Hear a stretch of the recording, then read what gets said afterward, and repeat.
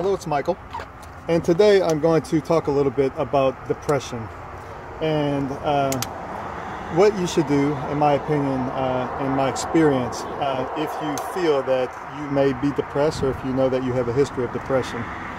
Um, I did another video a few months ago regarding this, and I think it's uh, entitled something about uh, what if you're tired all the time or being tired, something like that. I can't remember.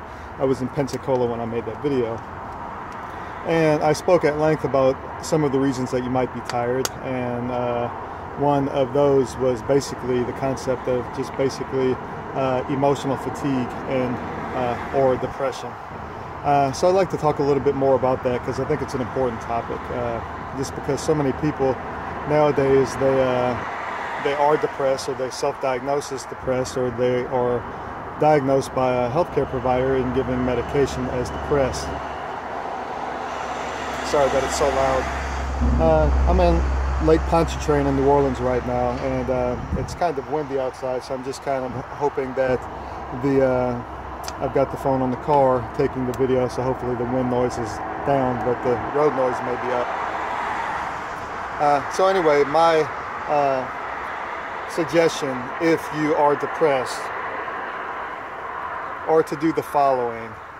And that is basically number one behavior modification. And behavior modification includes diet modification stress management sleep um, as well as journaling and meditation consideration of therapy, consideration of changing your environment, uh, and then potentially from that point on, uh, you know, in the beginning or uh, somewhere in this process, speaking to your medical uh, provider and determining whether or not uh, the two of you feel that drugs are necessary or whether or not you can uh, potentially handle this this state of life without drugs. Uh, and if you consider like diabetics, there are many diabetics that that find out that they have diabetes when they're overweight, and through similar things as far as behavior modification, exercise, and diet modification, they can actually uh, control their diabetes without uh, the necessity of taking insulin or anti-diabetic drugs. So it's possible that if you are, uh, if you have a strong history of depression or even an acute depression, that uh, you might be able to do this drug free. Uh, which to me seems like it would always be a good idea. Uh, natural is probably best. Uh, so when you consider mend yourself, moving, educate, nourishing, decompress, we can go through e each of these things. We'll, we'll start with, with diet modification. Um, eat nourishing food and hydrate. Don't drink alcohol. Don't drink soda. So basically what you're going to want to do if you're depressed and you're trying to actually make a, a, strong change in your in your life and emotional life because you can't change your physical life until you change your emotional life uh, in, in, my opinion I think that it has to start here uh, so what you put in your mouth is going to affect how your brain works. So next, you know, uh, so obviously you're, you're going to want to, to, if you don't already know how to eat healthy, then to figure out a way to do that, whether or not uh, you need to seek help from a dietitian or from other people that you know that eat healthy and kind of get some of their advice. Now, I can tell you that I've trained uh, many people, and this is the first thing that that I have them do is if I'm in their kitchen, we just go through their entire pantry with a black garbage bag or two black black garbage bags and get rid of all of the shitty food, all of the uh, all of this crap, and make it less accessible. Uh, so basically, you have to get it out of your house. And then the next thing we do is we go to the grocery store and I kind of help them figure out what are some nourishing things that they'll actually eat and that they hopefully will enjoy. And just make, at, at first, this is a big shift, Uh, and if you're trying to make a big change in your life, especially in your emotional life, if you're excessively depressed, you, you may have to make a, a, huge shift at first rather than uh, small baby steps, which is which is how most people make changes. Uh, but if you need to make a big change quick, then you're going to have to make big changes. Uh, so to get back to that, we go to the grocery store and we have a uh, we get a sharpie, a black sharpie, to write on the side of uh, on the water bottles, and we get seven water bottles Monday through Sunday. And basically, I have them drink throughout the day, every day, one gallon of water.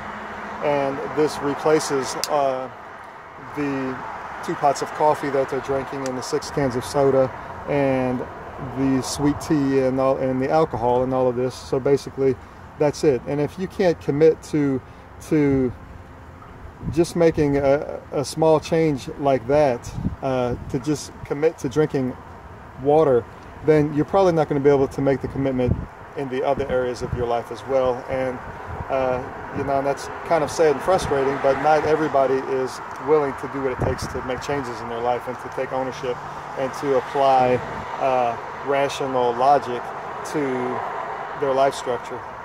Uh, and if that's the case, then I probably can't help them. Uh, so anyway, that's that's basically number one would be nourishing. The second one would be educating yourself. So at the same time, and I actually just did this just now, which is kind of funny. I just went to Rite Aid. Here's the receipt, and I got a notebook.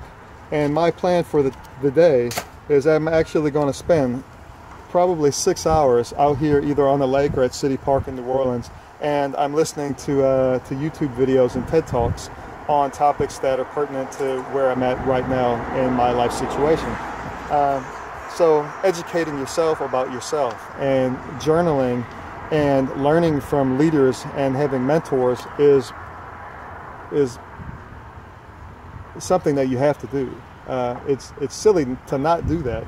Um, I'm riding around in my car and I'm listening to it every time I drive from Biloxi to New Orleans, which is a 90 minute drive, I'm listening to 90 minutes worth of YouTube. Uh, I, I, hardly ever even listen to the radio. Uh, so that would just go into thought modification. Then behavior modification, uh, sleeping adequately and making sure you get adequate sleep. So one way that you're going to be able to put yourself uh, in a situation to do that is to change your decompression habits change the amount of television that you're watching every day, change the, uh, the, the, negative patterns that you're reinforcing uh, your negative emotions with. And then, uh, and then exercise, yeah, obviously. And the first thing that I recommend for that is to basically get out in fresh air and to walk, move your body, feel the wind. The, you know, the wind is great for your skin, it's not so good for making videos. Uh, but uh, and then if if behavior modification and thought modification need uh, some help, then you uh, consider therapy. Most employers now, nowadays have some kind of a uh, some kind of a of a benefit where if you're going through an emotional distress in your life, and it doesn't even have to be uh, work related. It could be non-work related. It could have to do with relationships or family or whatever. They, they make it to where you can go to like a, a psychiatrist for like five visits or something for free. And then many healthcare plans nowadays are much more apt to uh, to, to allow psychiatric, you know, just just general psychological counseling, um, because actually you, are going to decrease the amount of money that they have to spend on your health care if you get yourself mentally healthy. Um, you know, if, if, you can put yourself in a position to not be uh, overwhelmed by depression and not need some of these medications on a permanent basis, then uh, then it's actually beneficial for the uh, for your health insurance company. Uh, so these are some of the basic things. So basic, what I'm what I'm trying to say is that if you have, if you if you feel like you have an emotional drain and you're too tired and you you're having, you, it, it's obvious that you have something to work on, but you just don't know where to start. Basically, throw the kitchen sink at it. Behavior modification, thought modification, diet modification, sleep, exercise, uh, not poisoning yourself, uh, and then you know, and then go from there, and you know, talk to other people. Use you, join uh, forums, social groups, and try and bounce the way you feel off of other people. Read other people's stories, see what other people are doing that are in similar situations to yours. Uh, you can post your story, and a lot of times you can do this uh, uh, anonymously, and you can actually get some positive feedback. Um, and maybe actually help other people. So one of my goals is to to not only decrease my own suffering, is to decrease the, the suffering of other human beings. So you might even actually be able to put yourself in a situation that when you learn something, you can actually teach it to someone else. And this also reinforces the good habits for your own behavior. Uh, so anyway, that's all I'm going to say about that. And maybe you can uh, watch my other video. It, speaks a little bit, uh, it's, it's a little bit of a different twist on the same topic. And uh, anyway, thanks for listening. Mend yourself, move, educate, nurse, decompress. Thank you. Have a good day.